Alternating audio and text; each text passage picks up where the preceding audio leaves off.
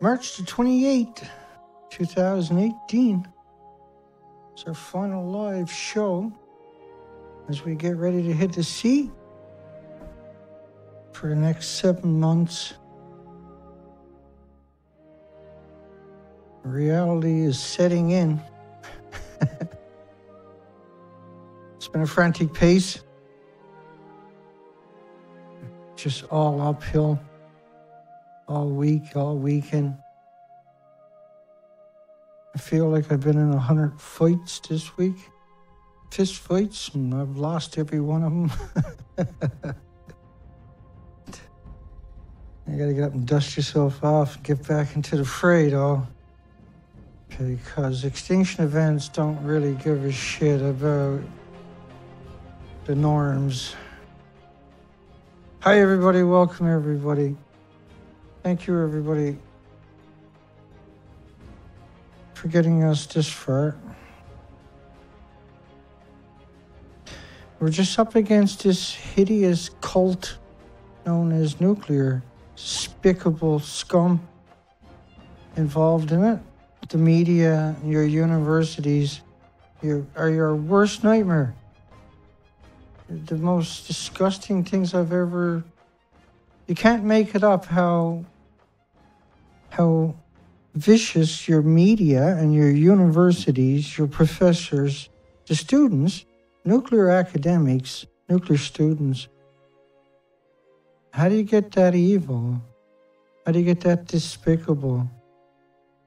How, how is it that the world sat here in silence when they told you that a nuclear meltdown or nuclear waste or nuclear releases is like a banana and walking in sunshine, getting on an airplane. This is your media and your universities pumping that into everybody's head for 74 years to the point where you can't have a conversation and where they believe the lies themselves now because they've told a lie for so long.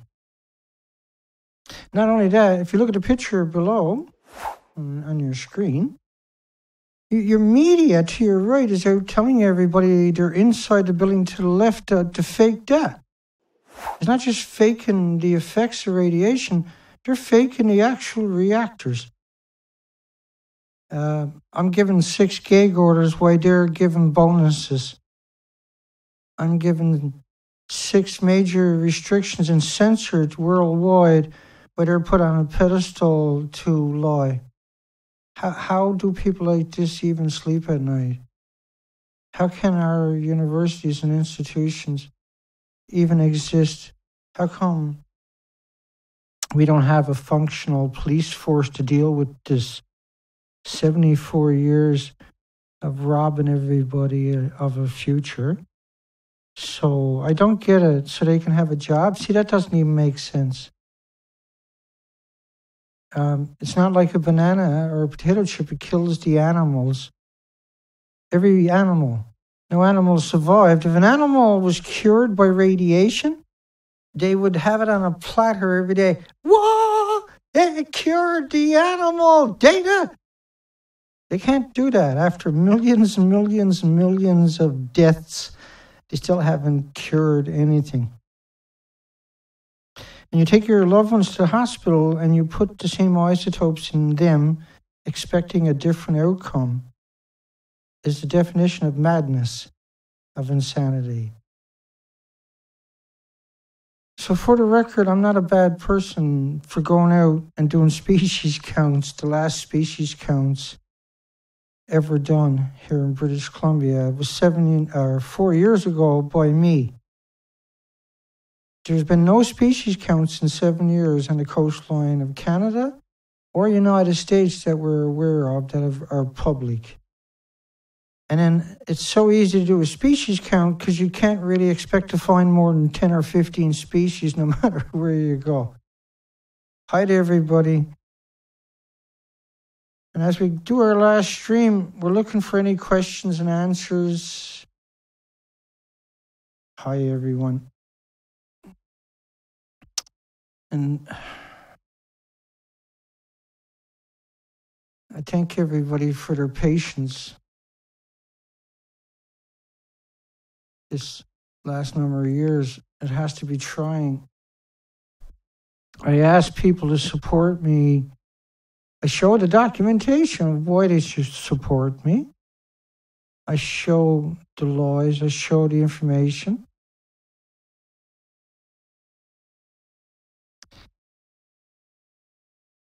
Eileen Nee, Kathy, and Shanikin is in your blue is Elaine.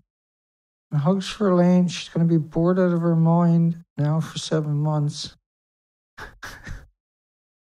Hi, Mindy and Liz. Hi, everybody. Robert.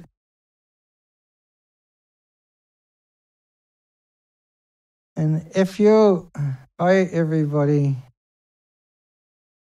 So, tonight is I'm going to start off with some clips here the last couple of days as we slowly. Yeah, I won't be leaving until I'm ready for sure. I'm not. We haven't stopped. I'll explain some of this coming up. Hi, Joe, which is 239 joint. Joe Moore. Hi, Joe. And Amy. Night. Hi, everybody that I don't get to. Hi, everybody that's watching this later or tomorrow or tonight. Strontium is blogging, folks. Check out his site. He's been blogging for a long time on Fukushima. I'm not. I'm not going to be here to blog anymore. So if you can find a few people out there that are trying to talk about the subject, um, it's so difficult. Organic slant is still out there kicking and screaming. Says two people won't be stopping anytime soon, I don't imagine. They seem they're like me where they're they're here for the fight. Hi Alex. And we don't expect too many people. Hi Ganda. Hi everybody. So, what can I bring to the table for everybody tonight? Vancouver, Canada, test showed iodine 131. Now, of course, it doesn't travel by itself. The iodine 131 was the tracer, and it's at 100 times above what's considered a drinking water limit, which is an emergency limit. There is no safe limit. And the reason being was because there's forecasts from different institutions showing the radioactive plume coming in to the coast. And everything that hits the Rocky Mountains on the west side washes down to the coastline eventually. We got a little VIP, we got the drone working. That was a nightmare, trust me. And but we got it the basics. And this clip is just 4K, but on your end, you're getting 720 or something. Uh, but we, we got it working, and so we can look forward to some incredible footage to help tell that story. And you can see I got the submergible there on the ground and the big camera. This was Saturday. We had sunshine, went down to a park on the outside of town here. So I'm right on the Pacific Ocean here in Powell River, British Columbia, Canada. And just get some of the kinks out of it. It's very difficult uh, operation for sure. But now we now we know we got the basics, right? So that's huge. Submergible is working, the big camera is working. Uh, Just going to grab uh, the big spinnakers and see if we can get a sock put on them. Which is the sails. Shop here. We'll go get a quote anyway. It's Monday. Just a few days away, hoping to leave.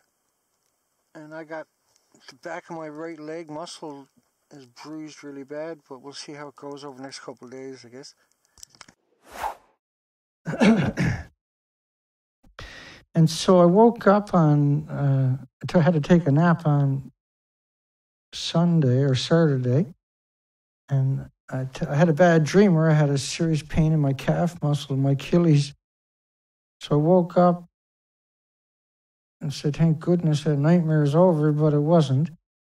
And so that bruised, I ended up with a deep bruise, muscles, because the muscles in my legs are are shot um, from my accident and not being able to do anything for so many for over a decade i lost all the muscle mass in my legs. And so all the work i'm doing caused uh, charley horse i suppose one way to put it. But i've been crippled ever since a bit better today. And today is wednesday. So it's been chaos. I spent 65 i'm sorry 86 dollars on this we're gonna go up and drop off the sails. You got a big one in the back and two right here. Get socks for these two. That didn't work, by the way. Fix some of the work on the other one. That didn't work. It's Monday. It's chaos. And so the GPS, I've spent almost every day, several hours a day, trying to get that to work. It turns out it had to do with the memory card and to rectify, it's going to take like two weeks.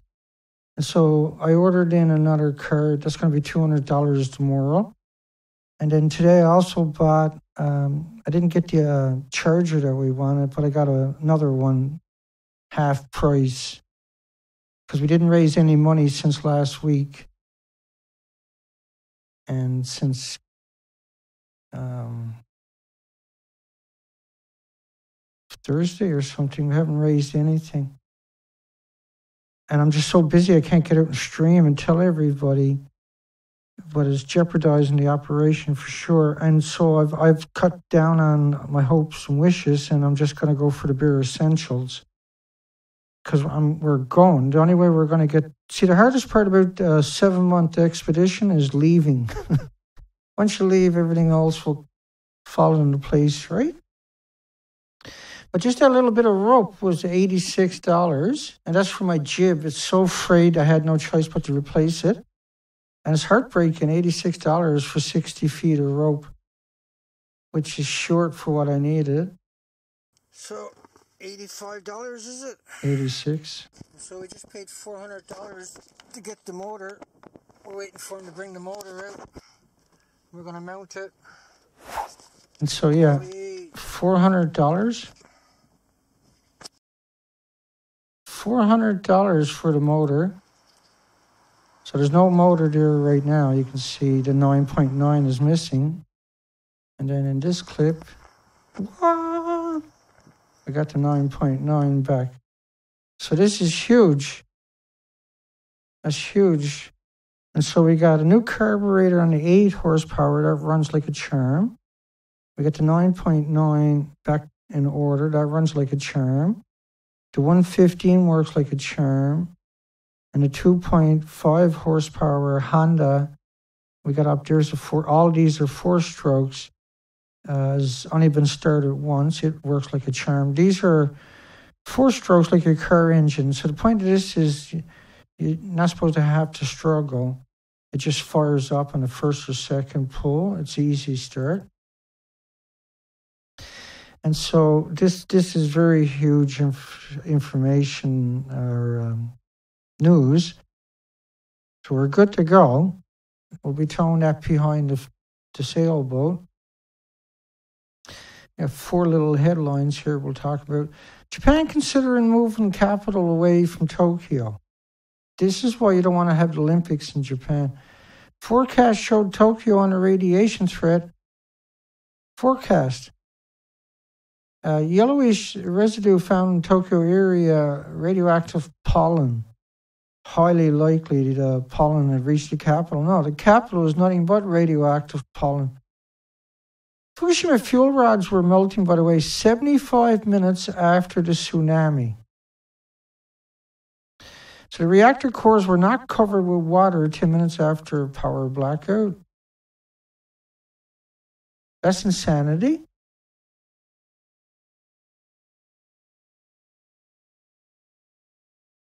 Um, Japan's prime minister studies setting up alternative capital away from Tokyo. For for them, not not for the people of Tokyo. They weren't going to move them. They were going to move the government 200 miles south, the opposite way of Fukushima, right? And so the Hook 7 turned out to be a big mistake for me. $850 mistake that I can't turn the clock back. And so tomorrow I'm going to burn another 200 or so on the map, and hopefully that solves that issue. If that doesn't solve the issue, I got to pull everything back off the boat because it's all installed. And this is Sunday down installing it with a blown calf muscle. And it turned out to be a nightmare. You can see I had to get the old, because you got to put a new sounder on too. So I had to take the old sounder off. I broke that. That can't be put back on. It was a nightmare. That's the way it's supposed to be, I think. And as if the ocean is going to be any less when I finally get out there.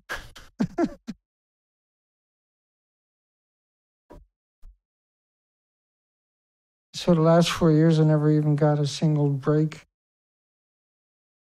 And I got no break in the next seven months coming up. Not even a single day off. And then straight out into hell is the way it's going to play out. I can't afford to stay at the wharf here. And I can't, I can't, we can't afford for me to stay here. We got to get out and find out what's going on. We got to go out and survey the coastline. It's going to take many months. And so I had to take all the wires out and thread everything up. Now I got to go pull it all again and put it in the box and bring it back and try to get my money back. Get another something else. Obviously, going to have to be cheaper because we can't I can't take a chance and wait for something to show up when we want to be out of here in three days. So tomorrow, if we, that map doesn't work, pull everything. It's just, it is what it is. And I didn't use electric tape to seal the hole in the floor. Uh, thank goodness, or I probably wouldn't be able to get refunded.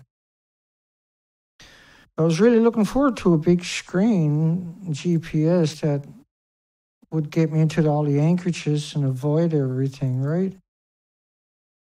And it's just like total chaos. So we drilled it. We got that mounted, but we'll see tomorrow anyway. Now, this is my last live stream. I'm probably going to post a short video before I leave, but it won't be in this format. It'll be just a normal camera. Fukushima forecast uninterrupted line, uninterrupted, uninterrupted. So, so a continuous line all the way across. In other words, a continuous cloud, an invisible cloud, covered the entire Pacific and North America. And people says, "Oh, well, Dana, you know, they didn't want to panic the population." They, being the goblins that lied to us for seventy-four years, they didn't want their families to know they were monsters. And so, a typical serial killer that's married, they they kill their own family rather than uh, have their family find out they're monsters. That's what we're looking at here with the nuclear industry. They'll kill the planet rather than ha- and their family rather than admit to their families that they're monsters, and they are monsters. If you're in the nuclear industry, you got the attributes of uh, every mass murderer throughout history in one. So look at these people pretending they're in a building that don't exist. Does that not concern you? Does that not worry you? That they're lying about that. And so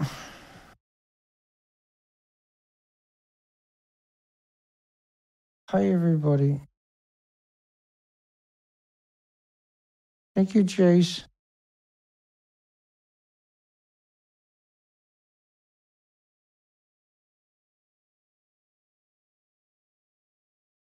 Now, for anybody that's not familiar, a quick brief rundown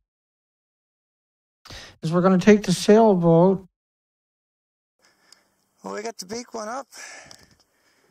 And I get off course That's a here. few days back, or last week. pay attention. We got the big one up. So we're going to take the sailboat and tow that up the coastline again. And so we got two Zodiacs, and they pack up in the one Zodiac, and we can carry everything. Both Zodiacs. Now, the big Zodiac, the sailboat gets tied onto a tree when I finally get up there in six weeks up by Alaska and start working my way back down the open ocean and the coastline and the interior. And the idea is to do species counts, insect counts, bird counts, mammal counts, go into the communities and harass whoever needs to be harassed and try to interview whoever is willing to be interviewed. And no more weather like that and blown pontoons, that was an emergency. Now we're going to just take our time and meander through the whole coastline, that's the only option we really got. And we're going to do the species counts again. So this is a big coastline. This is going to take up to seven months or longer. And we're probably not going to get a second kick at the can, so we got to get it right the first time it's uh, too much work for one person, but that's the the cards were dealt. There's no big organizations throwing tens of thousands of dollars at me so we can hire a bunch of experts, what so-called experts, or even see. It's so hard to get anybody to go for seven days, let alone seven weeks or seven months and then you got to get them in the port. It's logistically a nightmare, and you can't do it on no budget, which is what we got. And so we built the fleet piece by piece by piece by piece till we got to this point, and now we're trying to raise enough money to get out there and go to war. And so it's a very ambitious from the get go. But we've already done the whole coastline, like I showed you earlier. We know what the species are supposed to look like. And this is the same spot uh, before and after the same spot. Pre and post fukushima. And it's stunning yeah? It's stunning how everything is complete all the color is gone. It's completely stripped. And so what they decided to do was hide it from everybody and but because i'm i have thousands of hours underwater as a commercial diver I loved the ocean. I loved the coastline. I was infatuated with it beyond anything imaginable. And I understood how privileged I was to be in the environment. Trust me. I work hard for everything we've done. And I follow through on all of my promises. If if it could be done, I get it done. And some of the things I'm sure everybody thought couldn't be done, yet it's done. And so that brings us up to now. Now we're going to be leaving on the expeditions.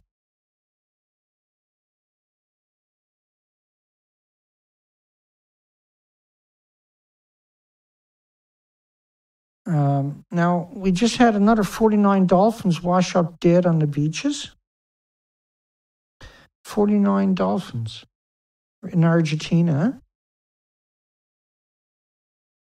Brazil, where we also seen a few months ago in the same area, 100 and um, what was it, 115 whales or something washed up on down on the bottom end of it. Several months ago, we covered that. Um, Australia, and we'll cover that coming up in a little tiny bit had 150 whales wash up a few days before that. Washed up dead. They starved to death, same as everything else we're seeing. Scientists have been left baffled, baffled. They've never had, by the way, um, this happened down there before. 61 short beaked dolphins were found washed ashore, washed ashore, think of those words. They've been watching my stuff, obviously, on a beach resort in Argentina. It is the first case of marine mammals being stranded in that region. Therefore, it's an unprecedented situation. And so everybody in the media is out there. Oh, the other ones washed up because there was a sick one and they were trying to help it. So they're smart enough to do that, but they're not smart enough to get off the beach. Gotcha. Yeah, you people are disgusting critters, trust me. So Australia just had 150 whales wash up dead. Now, the Secretary of the Protected Areas, Nestor Garcia, suggested a large influx of killer whales around the coast might have driven the dolphins to shore. Well, that's not about happened. They washed. They were already dead when they washed up. So I got a couple of clips coming up for everybody. The world's killer whales are in trouble, especially around the coast of Britain. Scientists have found that one of the UK's last resident killer whales, who was found dead on the shores of Scotland last year, had record amounts of a banned toxic chemical in her body. Scientists say the levels of the man-made chemicals, known as PCBs, were among the highest ever recorded. Our science correspondent Rebecca Morelle has more. So you see him talking about everything but Fukushima. It's not easy to find orcas off Vancouver Island these days. Now, this is Vancouver Island last year. These are some of just 83 of the magnificent marine mammals left in these waters. So there's only 83 left. They're all related, part of female led clans, as scientists call them, and their numbers have been shrinking. Now, as scientists call them, now they bring up a guy who was a tour guide, not a scientist. The southern resident killer whales that we've just seen specialised in eating fish, uh, primarily salmon, and primarily not just any type of salmon, but Chinook salmon. So now he's just saying he only eats Chinook salmon. Don't forget those words, they're really important for what's coming up. By the way, if you go look up what a killer whale eats, it feeds on seabirds and squid and octopuses and sea turtles and sharks and rays and fish and they also eat most marine mammals, such as seals, etc., etc., sea otters, baleen whales, sea lions, squid, blah, blah, blah, blah, blah. They estimate 140. There's a lot more than that. Now, here's a story. See, this is important because what they're by saying what they're saying about the orcas and, and the Chinook salmon, they're saying the Chinook, in, in another word, they're saying the Chinook salmon are gone. Right? And But they're blaming that at the same time on the dying whales. They're going to say the whales are dying because they can't get their food, Chinook salmon. This is a ludicrous story. And they don't bring a science, they bring in eco tours. And I looked him up. He's registered in Victoria, British Columbia, not on the west coast of Vancouver Island. Victoria, British Columbia, Canada is the capital of Canada. It's all government entities. You can't even rent a place there unless you're a government. It's 100% government. Now, the year before was a half million birds. One of the orcas that called. Now, this one also is about orcas, rather. Washington Waters home has died, and now her calf is in danger. I am alarmed. I've seen the necropsy reports from J32. Ken Balcomb has studied these whales, including their ability to reproduce for decades. He's with the Center for Whale Research. This is far more sinister, where we're losing reproductive females and their babies. Uh, you know, when you when you don't reproduce anymore, you don't have a population. The no. news, while not confirmed by a carcass, might as well be. This is the last picture of J28 taken by Balcomb on October 2nd, along with her youngest calf, J54, a male. He says the whales are emaciated, underweight, underfed. Emaciated, emaciated, underweight and underfed. Emaciated. These are not words that you can associate with a whale, ever, in the history of any civilization. But listen to the rest of it and the short supply of the whale's natural prey, Chinook salmon, forced the mothers to draw from fat, often often filled with filled with accumulated toxins from their own bodies. Which is what they said about the UK. So they're saying the whale can't get salmon. Chinook salmon. By the way, the whales eat dolphins and porpoises and large whales and penguins and sea lions and seals and squid and uh, whatever they want. There's no limit on them. They're the apex predator. So for them guys, once again, not not Ken Balcomb, but for the media to throw in the Chinook salmon meant they knew back then the Chinook salmon were gone, and they were trying to, um, right? Because the killer whales are such an iconic animal, no matter where you're to on the planet. They were looking for a way to marry that up with the killer whales to explain away the death of the killer whales without admitting that the killer whales were in trouble. That's why they're proposing to raise and release millions of small salmon over the next decade to feed and encourage the orcas and eventually to have more fish that they can catch themselves. To feed the whales. But what's going on there is they're obviously going to get a lot of money to raise salmon is what's going on because they're part of the cover up. See? The salmon don't survive. When they release the small fries into the ocean, they die right away. Two adult female killer whales and two calves tearing into a still wiggling shark. 2016. Uh, killer whales are considered apex predators able to hunt without fear of being hunted themselves. So they hunt everything. They don't just eat salmon. And so the media is complicit as usual into the cover up, yeah?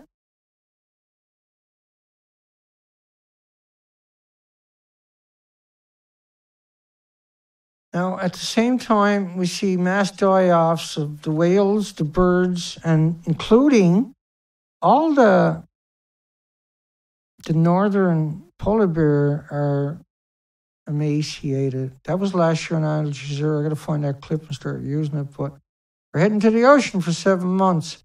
2016. It's one of the biggest mysteries Alaska has seen in some time. What caused hundreds of thousands of seabirds to wash up on our shores? The sick and starving seabirds were murres, plucked from beaches where most birds had already died. So they had some live ones were brought and many in. of the birds, when we perform the necropsies, they actually have empty stomachs, so we're not finding any food. Empty stomachs? Half a million birds. They know the birds are starving. The bigger question is why. Probably. So they know the birds are starving. Are starving. Think about those words. Indicative of something going on. Now, the common murre can dive 600 feet. They get krill or shrimp or anchovies or herring or whatever. That's not not not well. Fisheries and when the ocean isn't healthy, it's usually not just one species that's impacted. Yeah, for just from anecdotally, I know that uh, a lot of fishermen are, are worried. Uh, what does this mean for what's going on in the ocean? It's a, it's a good question. a question scientists hope they can answer sooner rather than later. Every time they interview fisheries, they come across like not, this is not the normal fishery officers in your community. This is uh, the bureaucracy fisheries. Those people are so disconnected from reality. They they actually think of themselves as better than everybody, and they think of themselves as public relation, and they perform those those jobs, and they always do the same thing where they don't show any reality. They're just there for the corporation, the corporate personhood. KTVA 11 News. Now, scientists say as many as half a million murres died. The most recent in mid half a million starved to death. Mid February, up to 8,000 showed up on the shores of Lake Iliamna. So the ones, this is a freshwater lake, saltwater birds that can dive 600 feet in salt water. Uh, 8,000 of them died in one section, just one nook, a small corner, washed up in one corner of a lake far away from the ocean. That's why that made the news. So they couldn't find food. Now, the reason the birds died wasn't because of smoking. Yeah, quite a few of them are smokers, but they didn't. You didn't get a half a million birds die from smoking. They died because when the birds were flying along the coastline, we noticed because we went out, they looked down, there was nothing there. See? Instead of being like over there where they could have landed anywhere on the coastline normally, fly along the coastline, they would look down and see all the food. Yeah? to your left, you would see all the food. Instead, they seen to the right. And it was naked. There was nothing there for them to eat. See? I went out there and surveyed the whole coastline. And so now we're forced to go back out and do the species counts. And I'm forced to keep doing what I'm doing right now in order to try to raise the money to do this. And I think it's perfectly acceptable for everybody watching this to say, Dana's friggin' nuts. Dana's crazy to think that he's going to do anything or change anything by what he's doing. And so, like, I get that, right? And I accept that people see me that way. But ultimately, you'll see things my way where somebody had to be honest. You had to have somebody that was genuine and sincere and would go out and find out for sure 100 that you could trust. You can say, no, no. He took pictures and documented underwater and video, and there's no samples to be taken. And who are you going to bring it to? The people who gave me gag orders? There's no one out there to trust anymore. We covered everybody out there.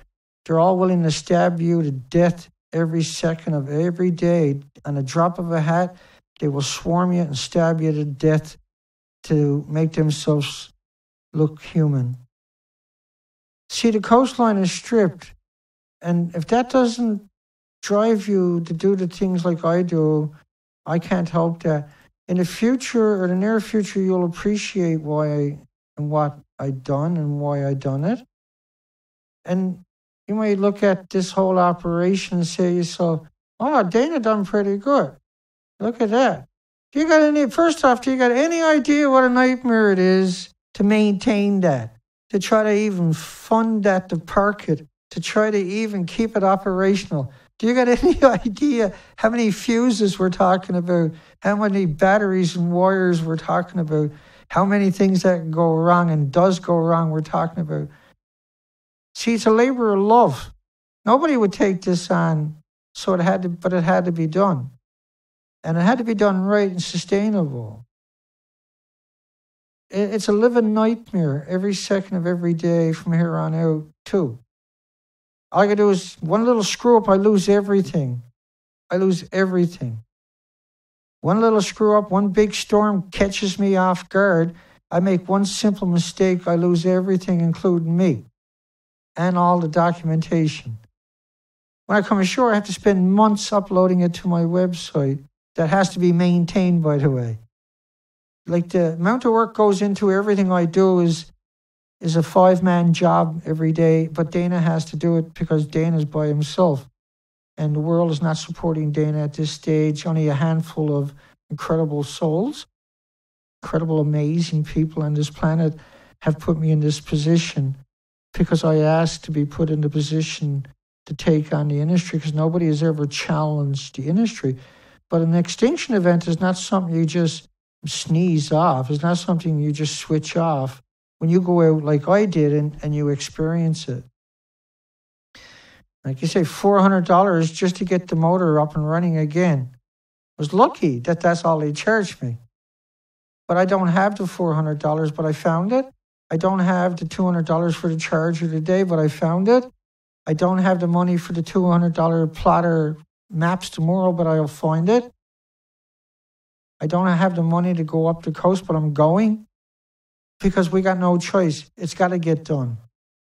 Everything has to be done. I have to go away and leave everything now for seven months. And so packing for seven months is a nightmare. It's leaving your home for seven months is a nightmare. Going out there by yourself for seven months, even though that looks good, you know that that looks pretty good, but it's it it goes so so quick and so readily and so easily. Instead of sticking cameras underwater, we got an underwater drone. Not that sticking cameras underwater is a bad idea, but instead of being out there in the rain, this is a rare picture. And this is a very valuable picture. This is such a rare picture. We washed up on the rocks that night. We had a blown pontoon that day, and that night I got caught in a hurricane and washed up on the rocks. And we done several thousand dollars of damage. I think we dumped a little motor and we flipped over the Zodiac. We busted up all the props. We went to hell and back.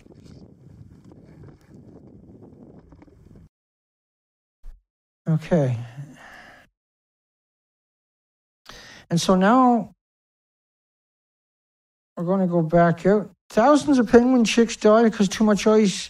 In other words, they starved to death. There's no such thing as too much ice. This is what penguins do for a living. They live in amongst the ice. Marine mammal experts claim an unusual. And by the way, an iceberg doesn't sit directly on the ocean floor. Penguins go underneath it. Marine mammal experts claim an unusual high number number of whales and dolphins stranding off Cape Cod. Federal government issues a disaster declaration for the pink salmon fishery, but the true amount of dying marine and bird life in the area recently is astonishing. Yeah, everything was dying during this period, and nobody explained it away. They just buried it. This recent story of 150 whales found beached. They weren't beached. Like when you look at the pictures, they washed up.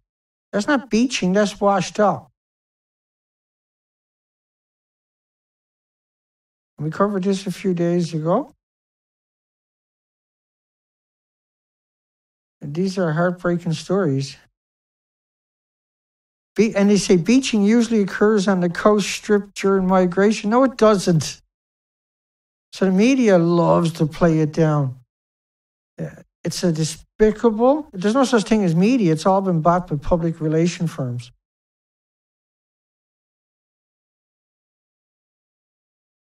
Alarming biodiversity declines threaten food and water. Food and water. Yeah, the bacteria is disappearing from our forest. You know, when I done the whole coastline, I was looking for spider webs in the forest. And you got better chances of getting hit by a Soviet satellite in three, two, one. But normally you go into a forest, you're slaughtered by spider webs, not anymore. No, no insects making noises. Now, this story here, scientists witnessed first known case of orca infanticide. This is on Drudge Report. This was uh, the day before he had the 150 whale story right by that. He pulled that story and left the other story up. So he pulled the story of 150 whales washing up like logs. That was my version. And instead left this one up. Scientists witness. Now that was just 50 miles or so from where I'm to, and I'll ha- I'll be having to go right past this place, and so I'll be going in there with the camera and trying to do an interview with these people. This is an Alert Bay. Like first, I'm gonna have to run over to Campbell River or somewhere like that and get more stuff that we don't even got the money for because as soon as I get 30 miles up the coast, there's nowhere else, only Prince Rupert, for me to buy or get repairs, and these little community, a couple of little communities along the way. But there's no, there's no big big spots. So where I'm going, it, there's nothing. And so I've been trying to do everything I can the cheap way, and that's going to get me fucking killed ultimately. Freak weather, orange snowstorm. Now, this story, when you think about it, regardless of what caused it, a snowstorm, orange snowstorm, submerges tourist resort with uh, orange snow. Scientists will blame the eerie snow tint, which varied from light yellow to intense orange and even brown, on a mix of sand and pollen. A spokesman for the center said the cause of the phenomenon was likely wind carrying sand from the Sahara, which then fell as rain. Wind carrying sand from the Sahara that fell as rain. So sand molecules, great big mass of sand, is picked up by wind. It's not sent up by a nuclear explosion or a forest fire. These particles we're talking about, nuclear, is, is a million times smaller than the sand. So the sand can make it, but not nuclear fallout from Fukushima. Right? Now, nuclear fallout from Fukushima was recorded by major institutions. Here's one of the models from the Norwegian Institute for Research on Xenon 133, which is just a tracer. You're looking at North America, the entire continent covered. Here's a map from NOAA, the American government, and the dispersals from a single reactor in Japan.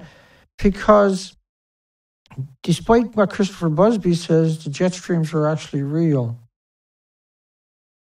So you can't trust Christopher Busby, Helen Caldicott, or Arnie Gundersen. They haven't come out and denounced the reactor four fake pulls a single time. They actually supported the story. They came out and pretended that they were getting the fuels at a reactor four. So, see, we're not the generation of idiots anymore, right? We're, we're an informed population where we can go out and look up stuff ourselves and find out the jet streams are actually real. And they weren't counting that we would look that up and figure it out. Australian forecast, Austrian forecast shows maps east of Los Angeles from the Fukushima fallout. Here's a evidence of sharp features. This is a plume hitting Canada, sharp features. Several studies on the radioactive releases from the Fukushima nuclear power plant exist. See, here's another one. High levels as in Japan on the west coast in California. Yeah? And they say it's not toxic, but uh, it travels with everything else. And of course, it's toxic when you breathe it in. It's from a chain reaction, from a nuclear meltdown. A nuclear meltdown means all the atoms and the particles, which are different uh, emitters, are hot particles, or hot atoms, or hot isotopes, or Cesium 137 forecast showed high altitude radiation cloud concentrating over California, because that's what pollution does, by the way. Cesium 137 forecast April 13th over North America and the planet. So they decided to hide just a handful of organizations, and your universities, like uh, in reality, they should be just thrown in a in a meat grinder. And I know that sounds cruel, but look what they've done to our planet. They destroyed everybody's future and everybody's hopes and dreams, including their own children, so they can pretend that they're special for another day. Cesium 137 plume forecast North American Europe. France's IRSN. Not enough for you. See, there was so many there's so much documentation of the plume based upon lies and deception. So when you add in the real numbers, Swiss models, you had so many models of the radioactive fallout, and everybody's like, no, no, I can't reach North America. Elaine sent me a, a radio interview of a popular guy on the internet. He was saying there's no way you can make it over here. Absolutely impossible. Yet all the pollution from the industry makes it over there. All the forest fire makes it over there. The sand from the Sahara Desert makes it everywhere.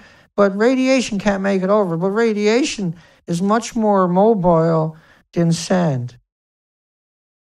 See, you have all these models based upon just two or three weeks and the dispersal over the entire Pacific. Look at the entire Pacific is covered. So it falls all the way to the ocean floor. It goes all the way up in upper lower strat- uh, stratosphere. Now, we can say this is too big, we can't do nothing about it. This is literally, you know, if you're sitting on in the middle of the road, there's a car coming. Are you going to get up and get out of the way? If your kids are playing on the road, and you hear uh, the local neighbors drag racing down the road, do you go out and yell at your kids to get off the road? If you're coming home and your friends, you're at the club and you're both drunk, and your friend walks out in the road, and there's a bunch of traffic coming, and you're you're not, and you, you're not so inebriated, probably not a good example. But do you leave your friend in the middle of the road and say, ah, you stupid, you're going to get killed?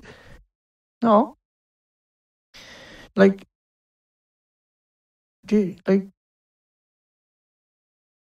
if you got a big bonfire, do you go stand up in the middle of the bonfire? See, so like when you see danger, you recognize danger, but you can't see this, is what I'm saying to you.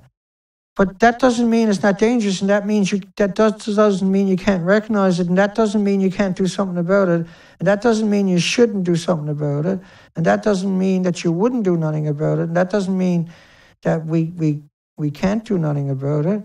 We can we can filter water. We can pass out seeds into all the communities and have them grow organic food throughout the communities, not just for people, but also for the biodiversity, for the fauna, the flora, to put the nutrients back into the environment. See, there's so many things we can do. We can come up with technology to filter water. Why, why do we just got to lie down and, and let them kill us? Why do we got to lie down and just give up because a handful of chicken necks are able to influence people from our universities and our media? Like, obviously, your universities shouldn't exist anymore. There's not a single academic out there in any other discipline who spoke out either. They all remain silent so they can pretend that they're special. So the biggest betrayal to us is the academics. 100%. The worst people on the planet, history will show, are journalists and academics. Journalists who sold you to lie. 74 years, journalists every day. Now, they don't mention the words bananas and walking in the sunshine very often anymore, I can assure you. We pretty well browbeat the shit out of them for that one. By the way, I'm Dana Durnford, the nuclearproctologist.org. And we have been at this for a very long time. All we're trying to do is have a conversation. All we're trying to do is fight for the future, is, is to have a future and to end this misery machine, this idiotic, nightmarish, despicable, disgusting, hideous, lying pack of shit known as nuclear. Nuclear is the most pathetic, disgusting, despicable creature we've ever, ever encountered in the history of humanity. We've never seen anything as hideous as nuclear. Now, I'm taking off, and just I've got a couple of headlines here we're going to shoot through. This is last week's headlines. Japan requests Hong Kong to lift ban on food from Fukushima and its vicinity. Now, see, that's such a disgusting. The next couple of headlines I'm going to show you tells the story.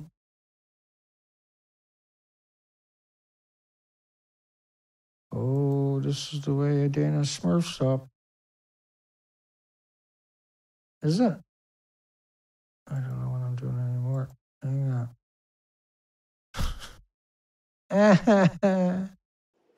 I'll get it. There we go. Japan requests Hong Kong. Japanese foreign minister met with the Hong Kong chief executive on Sunday and requested the territory lift a ban on imports from agricultural products from the Japanese prefecture uh, near the Fukushima Daiichi plant. Yeah, but nobody lives there. Why, why not grow the food somewhere else? Why grow it by the nuclear power plant? Can't anybody answer that question? How hard is it to ask that question? Uh, and then the next headline on the same day Hong Kong will not lift post Fukushima ban on some Japanese food, but others they did and will. Hong Kong will not lift the post Fukushima ban. Well, why do you got a ban on it for? Because it's bad, it's dangerous, it's deadly. See, 2018, this is a uh, 2014, where Abe is eating flatfish. Look at him claiming it's from the Fukushima to promote it in 2014. And the agenda was there in 2011. They had farmers going back in right after the accident and growing food and putting it on the market right away. They never wasted a second. This is the nuclear industry. Now, this is important what I'm going to tell you next. Was this was planned all along. When you had the meltdown, the next meltdown, they were going to grow food and ship it worldwide and start the extermination. This is an extermination event. This is a genocide. This is now, once the accident happened, they, they switched gears. And there's a lot of um, misdirection that came out right away. But they were growing food right away and selling it right away on purpose, knowing the effects of it. And then the media, of course, Fukushima saddened. Well, there's only 4% of the people returned, and the others are revolted by what they're doing. And of course, he never put a name to it. Writer, Kyodo News. See that up there? Fukushima saddened. Saddened.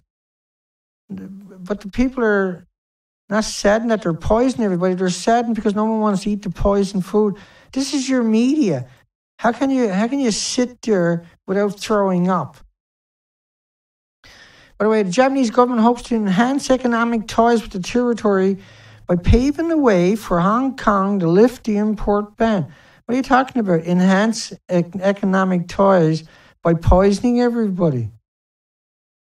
Tokyo also hopes Hong Kong's action will lead China to relax similar restrictions. What? Poison one country so China should let you poison them too. As Beijing has banned food imports from 10 Japanese prefectures. 10 prefectures, not just Fukushima prefecture, but 10 prefectures. See, in the near future, everybody will go to war against Japan. Everybody in every community on this planet will ban everything from Japan soon. For sure. Without question. The whole world will turn against the entire industry, and anybody that was actively at this will be hunted down and dealt with by their own family members will crucify these people in the near future. Hong Kong banned imports of fruit and vegetables from Fukushima Prefecture and four surrounding prefectures, citing a nuclear disaster at the plant triggered by an earthquake and tsunami 2011. This is the first time in 21 years that a Japanese foreign minister, by the way, has visited Hong Kong, and they want Hong Kong to let Japanese after 21 years not going to Hong Kong, they go to Hong Kong. You got to let us poison everybody with the Fukushima food. Oh, is that the food where everybody moved away? Yeah. Well, you, you, we're Japanese. You got to let us poison everybody. That's the agenda. So why are they growing food and shipping it worldwide and for, trying to force countries to consume it? How do we get to that spot? How do we get to the spot where the media says that, oh, Fukushima said that you won't eat your food. How does that become a media? Shouldn't you have their throats ripped out? Like people like that, where I come from, we kick the shit out of them every day for the next seven weeks. And hopefully, they, and when they're unconscious, we leave them at the low fucking tide line. So the autopsy says they fucking drowned it, okay? A murderer is a murderer, and I'm not going to sugarcoat it for anybody, period. I don't give a fuck how many gag orders you give me. Kono and Lam also affirmed cooperation preventing North Korea from evading sanctions. Like, so on one hand, they want to poison everybody, on the other hand, they're cooperating with the propaganda machine about North Korea. The Americans went in, the military industrial complex, I should say, and they napalm, napalmed, burnt in the worst way possible is what that means if you're not familiar with what napalm is. In the most hideous fashion, napalm is fire that sticks to you. They burnt down every village in the country, flatten it. There's no reason for, for a country to hate you after that, I'm sure. Hong Kong will not lift post Fukushima ban on some Japanese food. Think about the words. How disgusting to use the word some. Chief Executive also reaffirmed that the city has been strictly enforcing sanctions against North Korea. Once again, we see these connotations of North Korea in the same conversation. Hong Kong banned the imports. You're going to hate what I'm going to show you coming up next. It imported fresh product of milk from the prefecture and the four neighboring prefectures. So she emphasized it is incumbent upon the government to safeguard public health and hence effective measures must be in place to ensure food safety and maintain the public confidence. So the first Japanese minister, foreign minister visit Hong Kong since the colony transferred to Chinese rule in 1997. So earlier on Sunday, they visited the Irian department store in Taikoo, where he tasted food from Aizu and Fukushima, including rice, sake, and ramen. They're exempt from the ban because they're not fresh products. So if I take the fresh product and turn it into a, a preservative product, now it's now it's okay.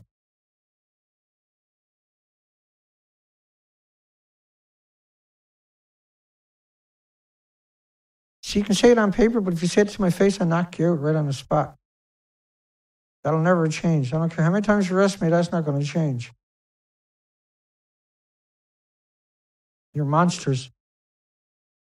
He said it's scientifically proven. It's very safe, and those people from Hong Kong who come to Japan are already eating spinach and cucumbers from Fukushima. So they're shipping everything. They're growing food in a place where nobody lives. The government is doing this. And then shipping it out and then using it and saying, well, they're already eating it here. They're already eating it there. So when the accident happened, they raised the limits worldwide. And then Japan had a lower limit. And said, see, our limits are lower than the world's. So we're more strict than the rest of the world. That was the game, yeah?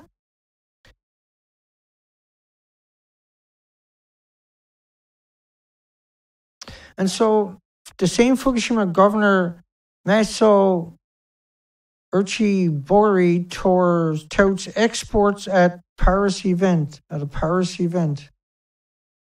So he's gone to Paris, to France, at a promotional event in Paris suburb. Paris suburb. Why they don't put no names on these stories for the authors, for the journalists. No such thing as a journalist anyway. A journalist is somebody you should fear and loathe and hate and despise. Uh, that'll become natural soon, won't it? Said he hoped to see an increase in Europe bound exports from the prefecture, which is recovering from the unprecedented, unprecedented, think of the word, triple core meltdown seven years ago, which is recovering.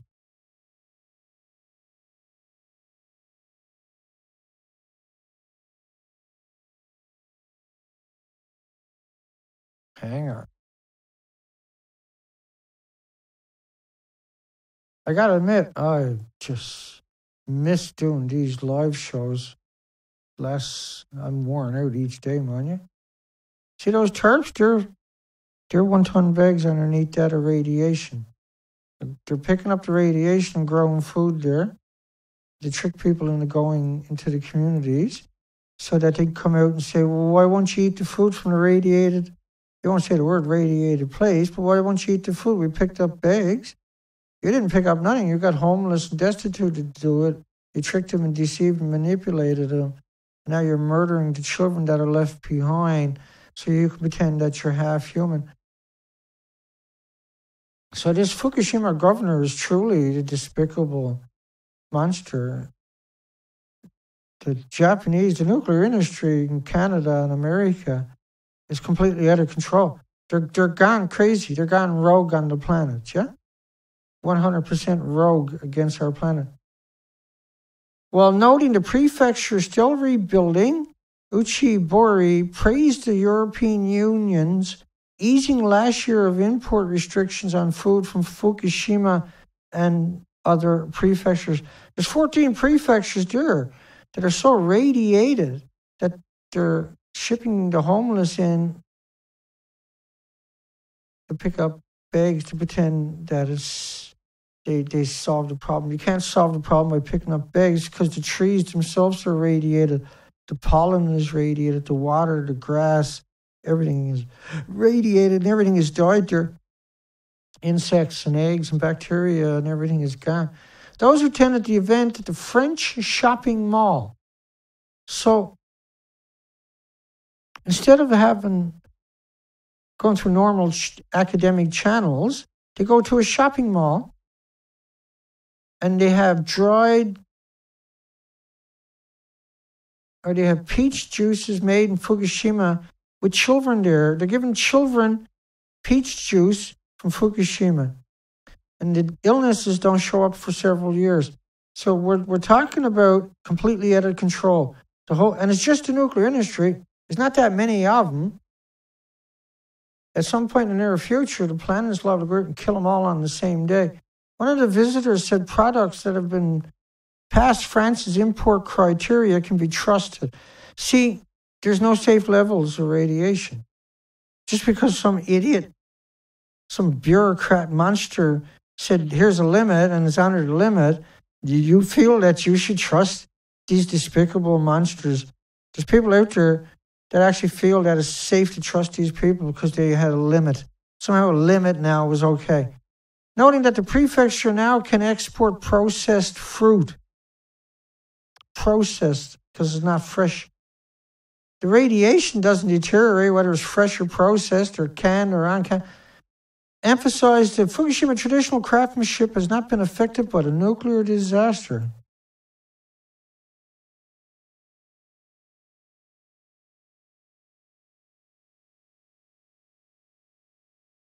And so when you look at those stories, Fukushima is saddened by Bangkok. They say we're confident about the safety of our fish. You're confident about the safety of your fish. It's just a handful of you doing it. You're being paid by the government. The Japanese government has set a limit for radioactive cesium in sea product, 100 becquerels a kilogram, which it says which it says is stricter than the international standard.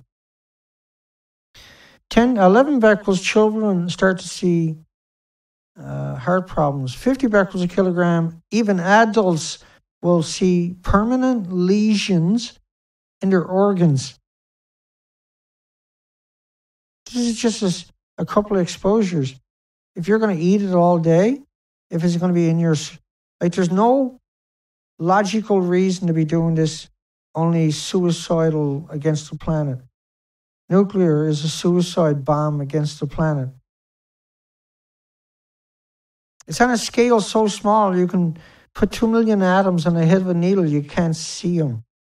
But that's 2 million cancers distributed out over 10 or 20 years. You'll see 2 million cancers if you give everybody an atom that sequesters in your muscles, your organs, or your bones.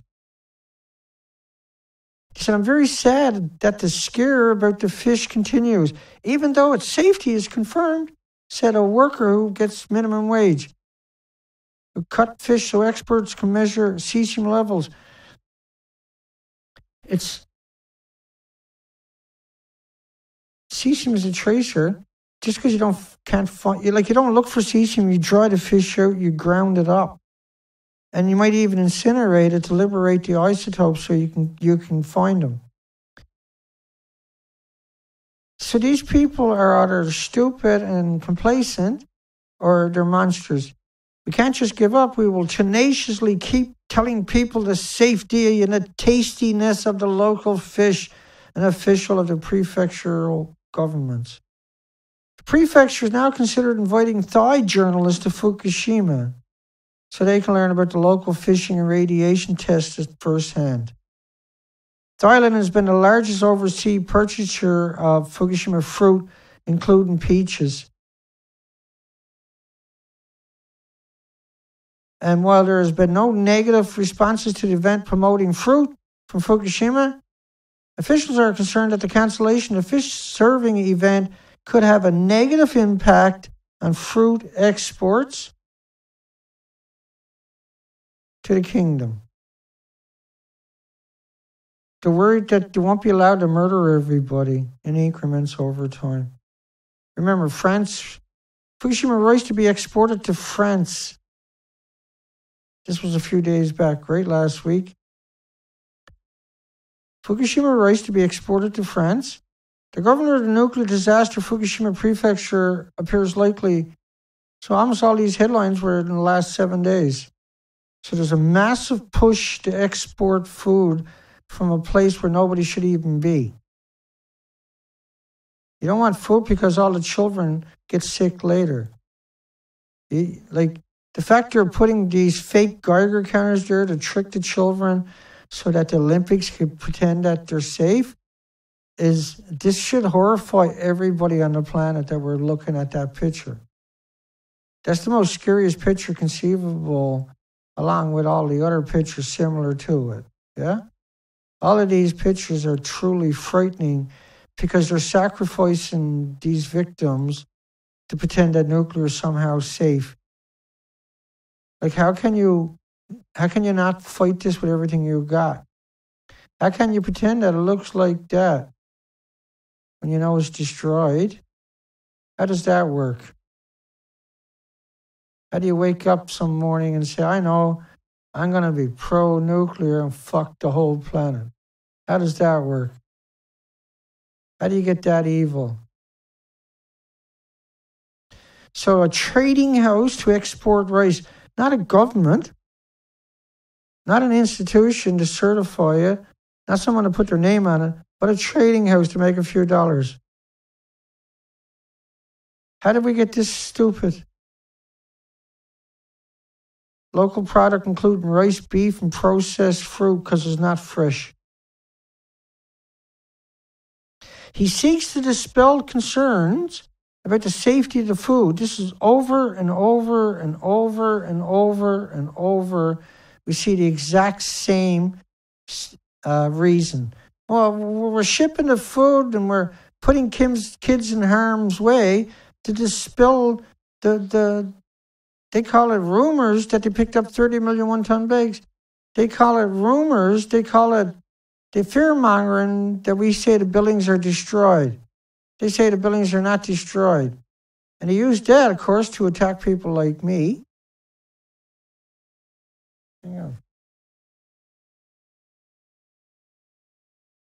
It's unsettling that we live on this planet and that we don't have any big organizations reaching out to me. Just a handful of incredible souls supporting me, supporting this, not necessarily me, it's the work. I shouldn't say me because I don't really exist. My work exists. I'm, I'm just, I'm some, I'm, I'm the key or something like that to the engine or whatever the case may be. I, I play I play a part. But see, it's not me, it's us. How can it be me when nothing exists without all of us? Just because I say me, don't mean it's me.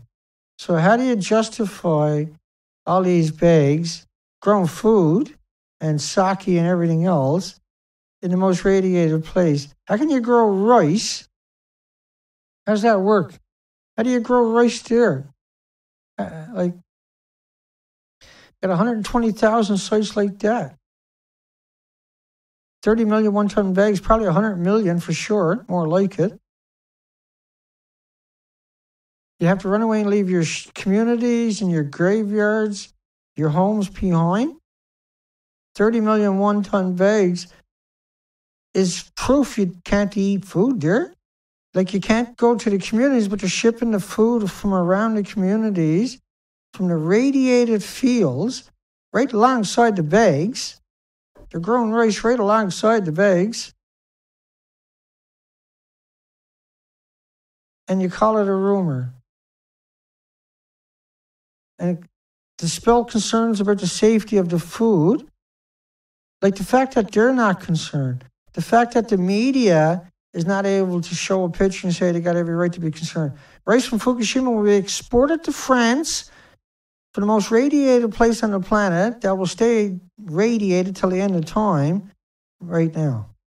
And there's nobody in France fighting for France to survive. Sources say the government is also likely to cement a plan to increase, think of that word, increase Fukushima shipments of rice Fukushima shipments of rice to Britain. Why are you shipping it everywhere? Why are you growing it there? How'd you get that twisted? How did that become some idea? How are you so evil? Why are you so fucking dark? Why are you so demented? Why are you so sinister? Why are you so hideous? Why are you so monstrous? Why are you so demonic and evil and twisted and demented? And this disgusting. See those terps meant to blend in with the grass, right, from the satellite images, I'm sure. So other countries that are trying to work out. You gotta like you're gonna drive past that to the Olympics? People are crazy. From the vault. Visiting tsunami hit Japan one year later. There have been some eventful experiences in my career, said Jane F. Ragavan.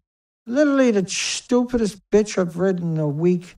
I was in the town of Minamisanriku, about 180 kilometers from Fukushima meltdown. 22 days. The trip was sponsored, sponsored by humanitarian aid organization World Vision. Sponsored. You went there because you were given a free trip. And then you got to play it up and say, oh, I don't understand what the big whoop is. Ignore the 30 million one ton bags throughout the country. Back on shore, some ladies from the Seaweed Processing Center had prepared a simple wakame soup and salad for us. A welcome meal on that freezing February day. That's her final words. The most radiated place on the planet, eating seaweed in the worst possible place on the planet. well, I don't know if we'll get out on schedule on Saturday or Sunday, but we'll get out. We're way behind schedule.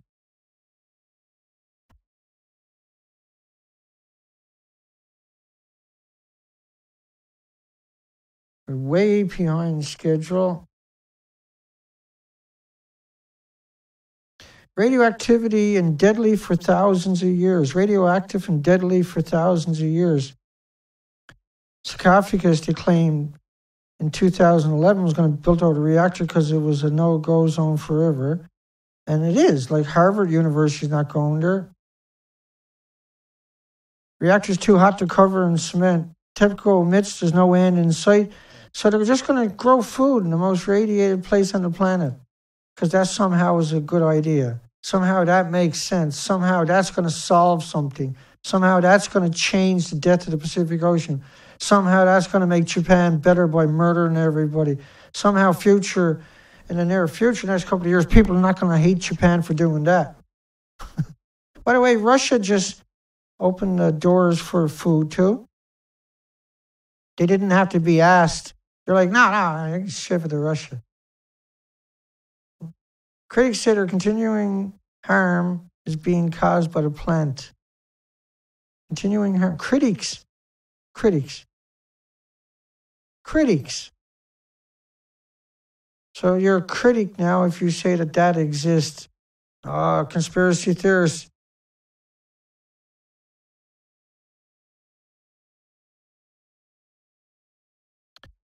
Hang on. Forecast map of radioactive clouds show threat to U.S. West Coast. Nuclear forecast. Think that word. Northern California, radioactive particles concentrating over California. Austrian forecast map shows possible radioactivity east of Los Angeles. West Coast forecast. Near surface clouds from Texas, western U.S. Cesium forecast. Cesium is just a tracer. Surface forecast Xenon 137 lingering over Florida. Lingering over Florida. Look at it linger. Fukushima forecast radioactive particles concentrated over Midwest U.S. in April 1st and 2nd. April 16 forecast shows radioactive clouds stretching from Texas to Canada and all the way across the Pacific continuously. It's predicted, in fact, the radioactive particles may concentrate as much on the west coast as anywhere in Fukushima as it keeps coming in wave after wave through the jet streams, which Christopher Busby, by the way, says doesn't exist. It's predicted that, in fact, now the die-offs on the California beaches, seabirds, sea lions, dolphins, how many have to die before somebody cures? How many have to die before somebody cures? That's what we do, isn't it? We cure. We cure, we cure. And I care. Hi, everybody. Hi, Matt, Noi, Liz. Anybody I don't get, I'm looking for, that's all. Mary. Agreed. George.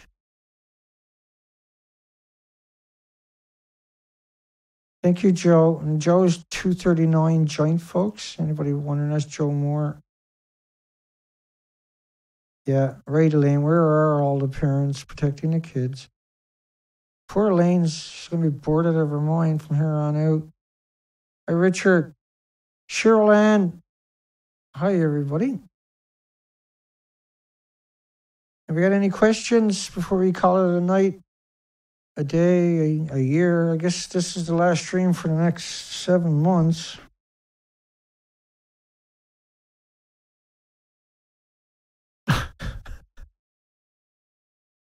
This is a good day, trust me. I'm just burnt out. I haven't stopped.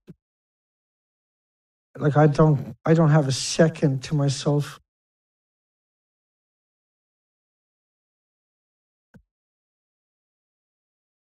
I don't have a second. Now I'm going out on the ocean for about seven months to record an extinction event. I hope everything is good, but we know it's not. Anybody got any questions? Poke them in there.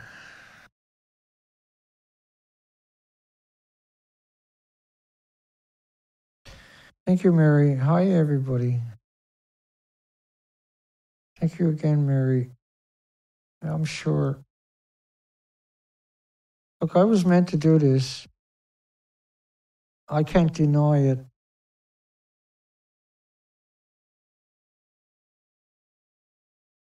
I don't think it matters, James. Hi, Wing. Hope you're doing well. Jace.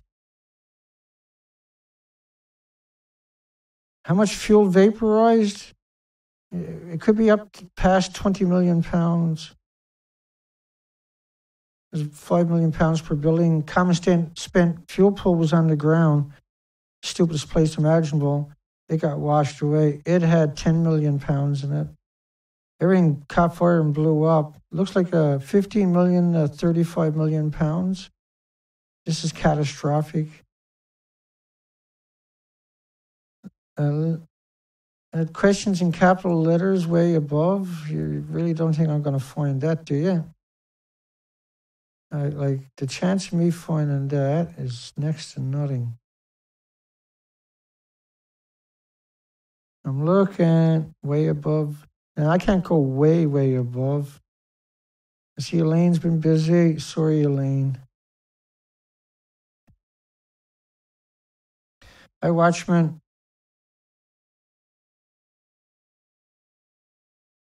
Thank you, Elaine, again. Yeah, thanks, James. Now I hear you.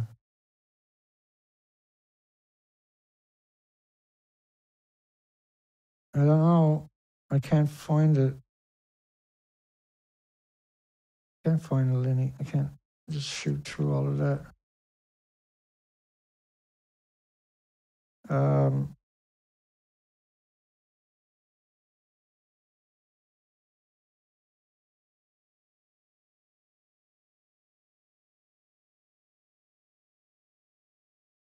there'll be no protection. I'm totally vulnerable. I'm by myself. There's no one, no one to help. There's no one on the boat to help, I should say. Thank you, Elaine. And thank you for everything you've done up to this stage, Elaine. My goodness. Can't emphasize enough uh, how much I appreciated everything you've done and the sacrifices. It's just, it's unbelievable. It makes me cry sometimes. Just, just humbling how everybody has stood by me through the thick and thin and crazy. yeah, sometimes I snap. Uh, under a lot of stress at this stage, obviously. We got to take the boat now, the whole fleet, drag it all the way up to the end of Canada, to the top right by Alaska. And there's 26,000 islands, and there's everything in the sun can go wrong. And then no big shops between here and there. Once I leave here, I got that one kick just before, like within 30 miles. If I'm going to buy anything extra, I got to pull in in Campbell River because I'm in an isolated place. There are some things I can't get here, like like um, pulleys and and uh, I can't even think now and some more ropes and a few other odds and ends. Not a lot. I start working my way up the coastline. It's going to be about six weeks of sailing up the coastline. And, and so I'm only going to move the boat. Now, we want to raise enough money because I'm going to be sitting into quite a lot of ports uh, for the first month because I can't get stuck out there in storms, right? You know what I mean? Because we still got storms for the next month or so. And I want to be in a port, find an in- internet connection, be able to update everybody and get the momentum as we head into summer because it's just turned spring, right? Um, eight days ago or something. And so I, I got to be really careful for the next four, five, six weeks. But I'm I'm hoping that you know, I'm just waiting for calm winds and then I can move because the boat can't move very far in one day. You're not going to move very. They're like at perfect conditions. I'm traveling at my top speed is seven knots, which is uh, 11 kilometers an hour or something. so even in a 10 hour day in perfect conditions, that's still only 100 kilometers a day. I'm not going to get that every day but I'm only going to travel in that. And so every time I go into a community, because I got a 25 foot boat and a 32 foot boat, that's, that's over 50 feet. You're, you're looking at you're looking at 40, 50 bucks a day to tie up to a wharf with power, which is a safe place to be, which is a smart thing for me to do, but that costs money, right? But once I get up to the top of the coast, or even once I get up a little ways into the dangerous area, there's no more communities, just they're far apart. And so I'm counting on there's a bunch of small communities on the way. The first couple of hundred miles will give me time to get up to speed and get the kinks out of the system, go into communities and get a break for a day or two of weather, tie up safely, and get the rest of the kinks, get the rest of the things that break or needs to be fixed for the first two or three weeks. I'm going to find all kinds of stuff that are going to get broken or needs that I didn't notice needs to be repaired or fixed or redone. And so I thought this out a lot uh, last year, but now we're doing it. And so I think I got everything, you know, for for the amount of money we had, because we done everything in increments, we saved up our money each time and got the equipment. We we done this the literally the hardest way it could ever be done, with just single-minded gold. That I get to this stage, and I could sail up north. Right? Of course, I I understood that this was not going to be easy, even if I had everything I wanted, even if I had all the money that I could ever use for the expeditions. I'm still going to run into problems. I'm still going to have nightmares. I'm still going to be under siege. The, the, the nuclear industry is still going to try to attack me constantly and smear me. Now that I'm will be gone on the ocean, not able to defend myself, uh, they'll attack much more relentlessly to try to discredit me. And this is the most horrifying part of it. it, is because I'm not a bad person. I don't hide away from anybody. I'm doing the moral and ethical thing that needed to be done and, and has to be done. And I'm completely open and honest and sincere and genuine. I'm not some random person We covered thousands of headlines before we originally went on the ocean. We don't go in anything blindfolded. We, we take our time, we're methodical, we think things out. You know, as I've been called many times in my life a tactician, I was trained to be a tactician by my dad on the ocean to think things way ahead, to be seven steps ahead of the weather and conditions and accidents, and to always be concerned that I'm complacent or that, particularly on good days when everything is looking good, that's when everything usually goes wrong. That's when things get broken. You don't ignore it till it's too late. You ignore it till it's too late because it's a beautiful day, blah, blah, blah. So for seven months now, I'm not allowed to drop my guard. For next seven months, I'm not allowed to sleep normal or live normal or to be normal. For the next seven months, I'm not allowed to make a mistake. The next seven months, I head out to the sea in just a couple of days when the weather breaks. The weather right now looks good. Can I accomplish everything? Because we were set back several days with all the problems in the last couple of days. And, you know, I'd done everything I could to raise the money and I couldn't raise the money. And so I had to make incredible compromises. Let's hope that doesn't compromise the work. Just hope that doesn't jeopardize the work, you know? And so all I can say is I hope that I can be successful and get back with the documentation. Once I get back, it's going to take several months for me to upload it all, but we'll be blogging immediately when I get back. Live shows immediately when I get back. Full on war immediately when I get back. And wreck this industry so everybody else can say we done our job. So the future generation can look back with pride and say we built off their work. They stood tall, we can too. They, they took the worst, and then the rest is easy. Because we're, we're the original killer of the nuclear industry. We, we brought it to them.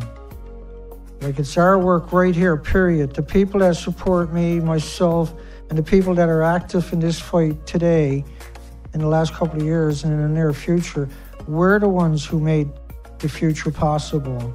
We're the ones who made the stand. We're the ones who are smart enough to know a lie when it was a lie and them for. We were brave enough and had that fortitude and had that vision and were able to have that perseverance and see it through. And we'll get that recognition. Not that I give a frig about recognition, but the recognition that nuclear is inherently evil and the people that are involved on it are mass uh, criminals and murderers and just cowards. The whole industry is just such a coward industry. Everybody involved in it are such cowards. And we call them all out on my website, uh, Beautiful Girl by Dana on YouTube. We flushed out all these cowards. Video after video, day after day, week after week, month after month, year after year. We've took every major institution, every major nuclear scientist and ripped their lies, found their lies, and showed them to be completely not flawed, but malicious intent, a deceptive and disgusting and despicable and subhuman species. People in the nuclear industry are not people. They don't covet life like me or you. They don't even cover themselves. They are just hateful, disgusting, pathetic subhumans. That's what a journalist is. That's what an academic is. I'll see everybody in seven months, yeah? In seven months will go quick with your support. We could be back a lot quicker. I say seven months because that's the extreme of roughing it. I don't suspect I'll have to rough it the whole time. I'm not really roughing it now per se. We have an incredible different operation than the last time and much more complex, way better equipment. I'm unbelievably, unimaginably grateful and humiliated and humbled that so many people have done everything possible to get me to this stage. And the truth be known, I couldn't be prouder. I couldn't be I couldn't be more prouder uh, to lead the charge in the way that I do, the capacity that I have. And with the, the ability that I had before Fukushima, I always got to, you know, scold myself for not being more active pre Fukushima because we could have avoided Fukushima if I had come out louder and spoke stronger and with more force and with more authority before Fukushima. It's something I'll regret that I didn't come out. And so this is maybe why I'm so vocal now. This is why I'm so relentless now. This is I have to atone for not speaking out sooner. And I think we'll all feel that weight, that burden, and that humility in the near future. Except for this group right here that stood strong through the thick and the thin and seen it through. You're the heroes. Don't forget that. Don't ever forget that. You're the heroes. I exist because you asked for me. You begged for the boogeyman. That's what you got. I don't like being called a boogeyman, but in this circumstance, I'll take it as pride because the nuclear industry needs a boogeyman to sort them out. We done it. The documentation is up at the nuclear proctologist. Get over there and enjoy it when you get a chance. I'll be updating at the nuclear proctologist or the beautiful girl boy Dana on YouTube rather. As we pull in the ports, we'll update you every chance we get when we can find the connection and we can afford it. We'll do it. Hugs for everybody. God bless everyone.